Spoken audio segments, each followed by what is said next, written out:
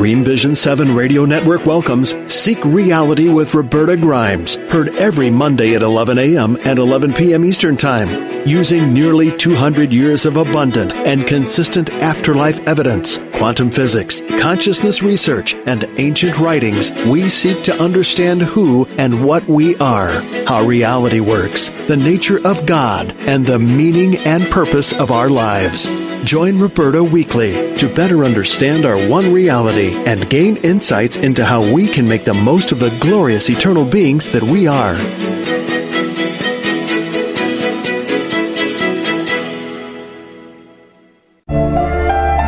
Welcome to Seek Reality with Roberta Grimes. Joyous conversations about what the afterlife evidence and modern science combine to tell us is true about our one reality. You have nothing to fear. You are eternal and you are perfectly loved. Knowing the truth changes everything. Now, here's Roberta. Oh, my dear friends, welcome to Seek Reality. I'm Roberta Grimes. I'm delighted that you could be with us today, and I think you will be too. One of my favorite places to visit is the Denver area. I have family there, and that's part of it, but there are some wonderful groups of really spiritually aware and curious people in Denver, including a great big IANDS chapter, and I have some friends there that I see much too seldom, and whenever I see them, I always say, I'm coming back sooner. On top of it all, there are the Rocky Mountains. Never forget those mountains. If you've never been to Denver and visited those mountains, you cannot imagine how beautiful they are, what a presence they are, and, and what a joy it is to live where you can see and be part of mountains that have snow on top. So I love going to Denver, and I often go there in the winter or spring. And our guest today is a lovely young medium I met when I was in the Denver area in March. Sarina Baptista lost her seven year old son in March of 2007, and she learned almost at once that little TJ wasn't so little, number one, and he had never actually died. He helped his mother to develop her own abilities as a medium. He even helped her learn how to train other mediums. And her third book is My View from Heaven, a boy's story of his journey to heaven and the purpose of life on earth. Not too ambitious a title, I have to say, Sarina, but she wrote this book with TJ. In fact, it's in his voice. It was channeled. I understand from channeled. We're going to talk about that. This book is really great. Um, when I'm doing this work, which I've been doing for almost now 50 years, I'm always looking for what's true because the, the information I've built has, is so huge and so consistent, I can pretty quickly tell if something is coming from, you know, another planet. This is all straight on. And what I love about this, as I, as I loved about Mikey's book, Flying High in Spirit, Mikey died at 20. It doesn't matter because we're all the same age once we get to the afterlife. But what I love about this is that he's teaching me things. TJ is teaching me things. So this is a terrific book. I'm going to recommend it highly to you. Um, and with his mentoring, with his long distance training and all the people he brought in to help his mother learn, Sarina has become a very good medium. She actually teaches mediumship and she's uh, she's actually a delightful person. I have to say, she's like a ball of energy. Welcome, Sarina. I am so glad we finally made this happen. Oh, thank you so much, Roberta, for having me. It is really a pleasure to be here. I just love you to bits have seen you through the years and am just so grateful to be here. What a wonderful thing to say. All right, let's try. No, let's not talk about me. I almost said, oh, let's talk about me. no, I want to talk about you. What, tell us about your background. I mean, you were just a, a mom, right? What is your, what was your sort of day job before this all started to happen? Well, funny enough, uh, before children, I was actually a software engineer. So very left brained, very yes. logical, very step by step. You know, we needed step by step. I actually did document processing for a while, so I was writing out workflows and processes and things like that. And then had children and became a uh, stay at home mom and was homeschooling my kids. You have two older, ch- no, younger children. He's the oldest, right? I'm trying to remember from the yes. book. Yes. Okay. So you had him and you had two younger children and his he he had this peculiar illness. What what was it that actually he died of? Do you know? It actually was just the flu. Oh my. Yes, he caught the flu on uh, Sunday evening, as did his sister, his younger sister. Both of them exhibited the same symptoms, but uh, by Friday, uh, into his room, and he was gone. Wow. All right. That you just scared every single parent who's listening to us. It's important everybody to understand that this was a planned death.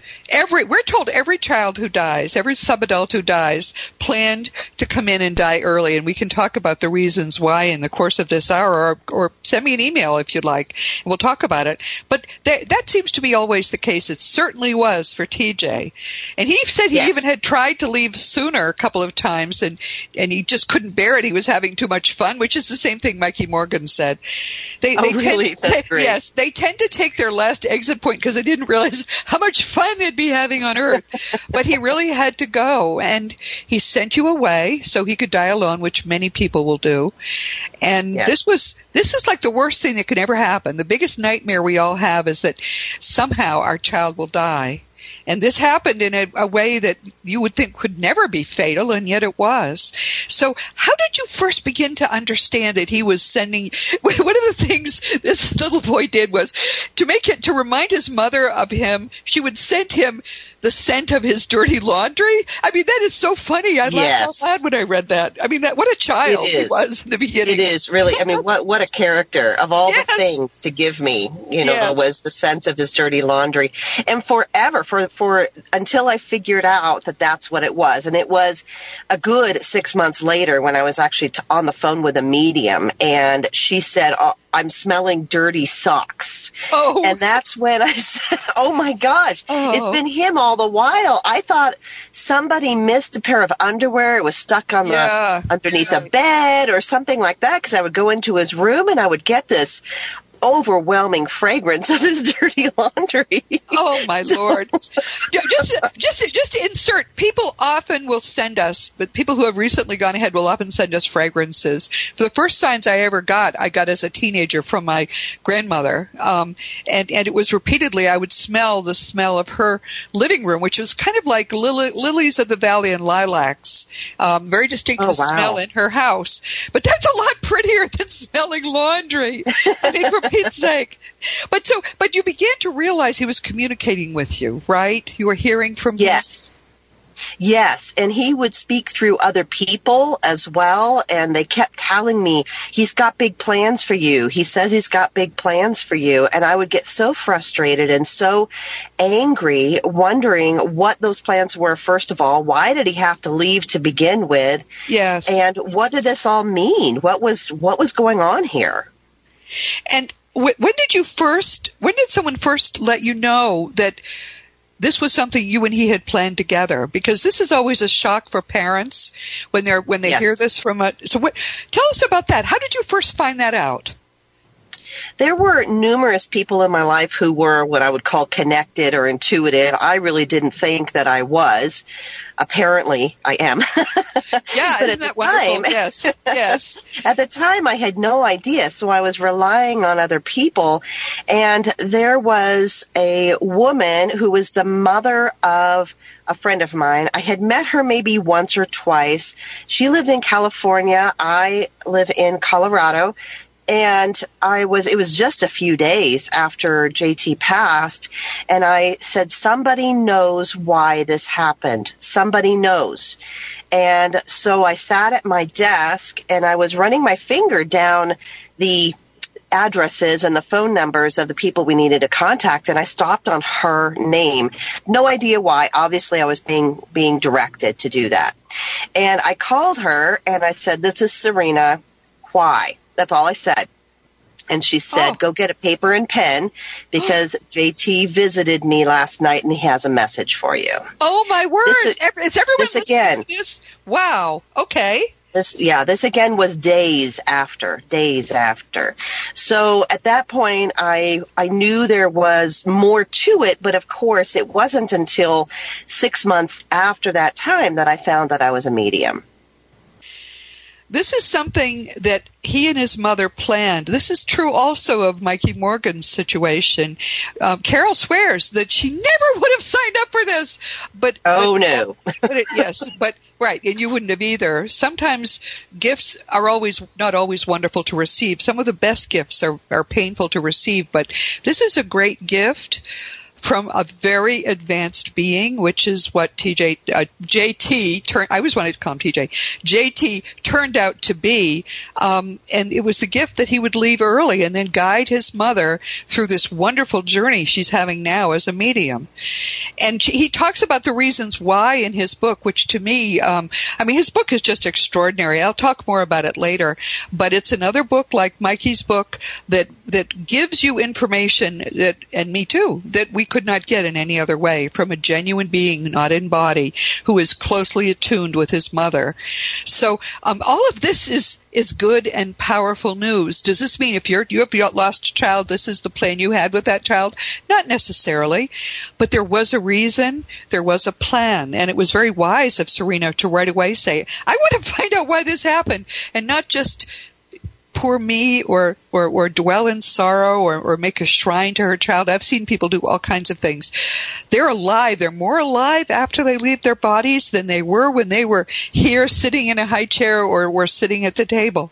They're much more alive. And it's all good news. And I think that's the first thing one gets from talking with Sarina, actually, because uh, she is full of this r- remarkable energy and light, which you usually, usually don't see in people that you don't know fairly well. Um, we have a lot more to talk about today, uh, one of which is channeling.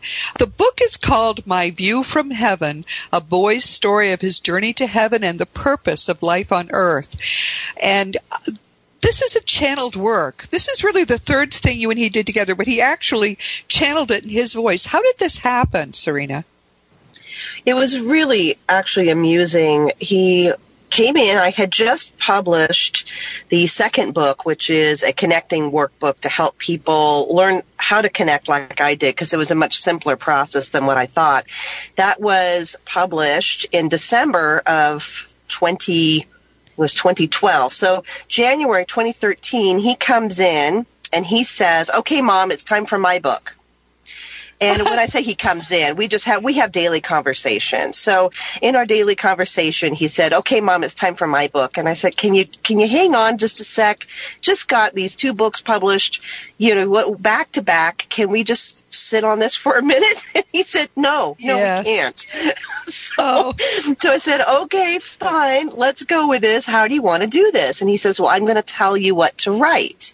I am clairaudience, which means I do hear spirit." So what I did was I had a voice, you know, a speech recognition program and a headset and Word document and I asked him, okay, what do you want to say here? And I just spoke into the microphone and it translated it onto my computer. It was much easier than trying to type it out because I just, he was talking so fast. I just needed to get it onto paper. And I'm going, I can't do this just typing. So I said, how do I do this? He goes, well, use a headset, mom. so, well, you know, so matters was he like this when he was with you? Was he was he this bossy when he was with you sometimes? Yes, yes. He uh, was, you know, he was definitely a very what we call, you know, a spirited child. I was reading yes. all the raising your spirited child books, you know, trying to oh, figure really? out how to raise oh, this kid. It. Yeah, that's oh, great. I know. It was he was definitely challenging in that in that regard. Now I understand why, of course, but at the time. no, but uh, but it's so, it is. I, I, love it. You use the word spirited. I think that's that's great too. So did, did, when he so he spoke it and did it come out as it ended up on the page all you know edited and set, or did you go in and play with it and move things around, or how did the how did the chapters happen?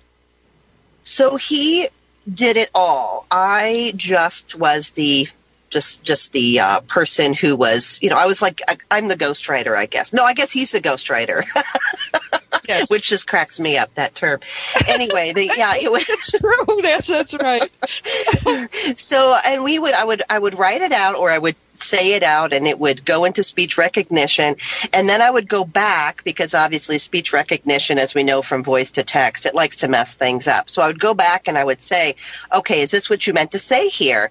And he would say, yes, that's perfect, or no, change this word, change this. So he really was the editor as well.